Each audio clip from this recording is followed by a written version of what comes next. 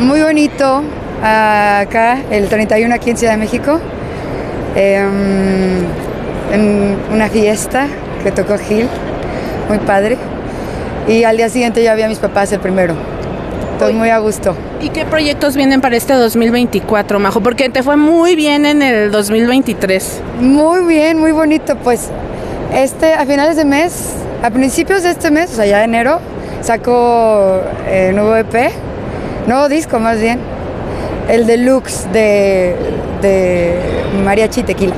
Oh. Sí.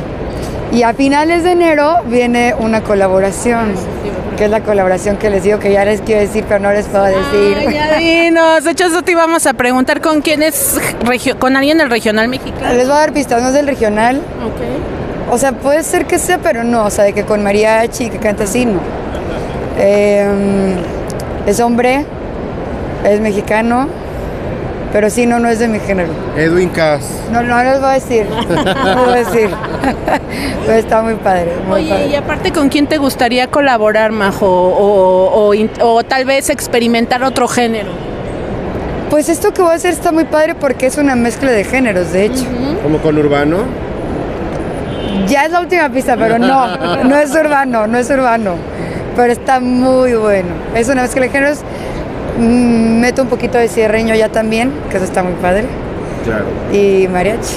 Y otro género, que no lo cuál. Oye, otra que se viralizó en las redes fue Ángel Aguilar con su cinturita de avispa. ¿Qué te pareció? Siempre he tenido cinturita de aviso. ¿Ah, sí? Bueno, ya de grande que la he visto. Que ni tan grande porque está muy chavita, pero sí, cinturita. Pero tú también tienes este tus seguidores, Majo, la gente te quiere mucho.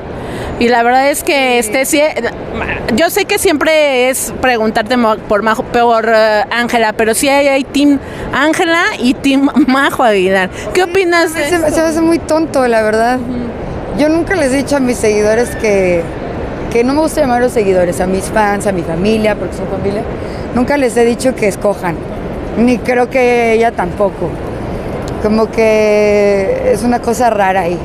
Que nadie tiene por qué escoger, pues te, te pueden gustar las, nos pueden gustar las dos, o una, o ninguna, ¿no? Claro. ¿Algún día podremos verlas haciendo algo juntas? Sí, yo siempre he estado abierta, a mí me gustaría mucho y si nuestros caminos se juntan un día, creo que definitivamente creo que es algo que sí le gustaría mucho a la gente y eso estaría padre. Y descartado que exista envidia. No, cada quien nada más está haciendo lo suyo y con mucho amor y con mucho respeto hacia los demás. ¿no? Oye, Majo, también estaba viendo hace unos días en una alfombra roja que ya hay como preparativos de boda. Estabas con tu, con tu novio.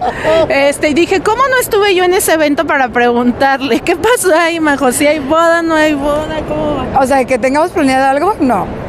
De que vamos muy en serio, sí, pero no, no, no, no hay fecha ni nada para nada. ¿Te gustaría este año? Este, que justo me está marcando, creo que está marcando. Bueno, bueno. Ah, sí tengo que ir. Ahorita, Ok. ahorita vengo. ¿Te gusta, bueno, ya para concluir, ¿te gustaría este año llevar tu relación a otro nivel, Majo? Me gusta que todo fluya, que todo sea como se tenga que dar, pero estoy muy contenta. Y ahora que Ángela también anda enamorada, podrían hacer una boda doble. No, cada quien que tenga sus cosas. Y no, yo no sé si anda enamorado o no, le he perdido un poco la pista, pero sí, sí, qué bueno. Ok. No. Muchas gracias. Feliz año, Majo, de verdad. Ah, igualmente, chicos. Muchos Cuídate mucho. Gracias. Gracias, Gracias, Majo. preciosa. Bye. Bye bye.